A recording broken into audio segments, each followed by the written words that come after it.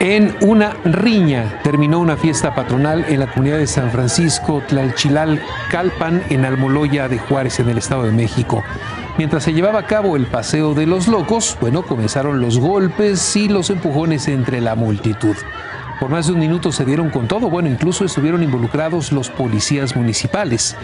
En medio de este altercado se observa a algunas mujeres que con gritos intentaban frenar la pelea.